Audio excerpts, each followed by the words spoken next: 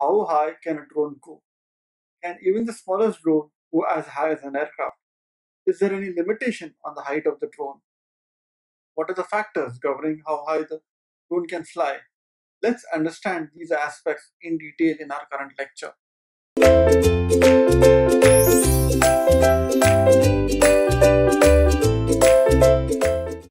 Every drone is defined with a maximum service ceiling or the maximum height till which the drone can fly. The service ceiling is the maximum usable altitude of an aircraft. Specifically, it is the density altitude at which flying in a clean configuration, the best rate of climb, airspeed for that altitude, and with all the engines operating and producing maximum continuous power, will produce a given rate of climb. The absolute ceiling is the highest altitude at which an aircraft can sustain level flight. Did you notice that your drone has a rated service ceiling? For example, the DJI Mavic Pro and the new DJI Mavic Air are rated for 16,404 feet. This rating is based almost entirely on the drone's ability to handle air density. Let me explain a little.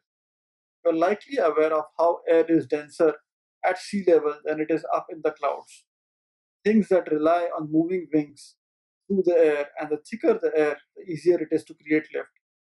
In simplicity, the thicker the air is, the less battery you need to consume to fly. Also, as you turn, there is more air resistance to affect the change. That is, your drone will be more agile in thicker air. Bottom line, your drone has to work harder and harder and as it goes higher and higher at least this is true of how fast it has to spin those propellers.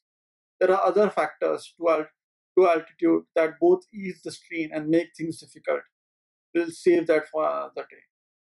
As a general rule, aviation authorities recommend flying below 400 feet or 121 meters AGL in order to avoid possible conflict with manned aircraft such as airplanes or helicopters. AGL here stands for above ground level or height from the ground or, or earth. I can tell you from experience that the theory of longer battery life in cold weather needs further research to prove. Our point today is that your propellers will be at their most efficient in cold weather, which is great. But if your battery drains extra fast, frosts, or even freezes, that is a catastrophe. What are the factors that limit the service ceiling of the drone? As shown in the figures, figure, the factors limiting the service ceiling of the drone are decrease in air density with altitude, propellers must rotate faster, and the maximum speed of the propeller is reached, battery capacity, ambient temperature, and total efficiency of the model, and the weight.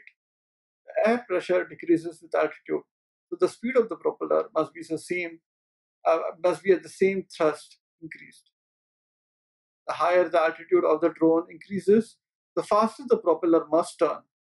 This means that a propeller that rotates at sea level with 8000 revolutions per minute in 2000 meters altitude about MSL, which is mean sea level height above the sea level with 9102 uh, units per u per minute must rotate to generate the same static thrust.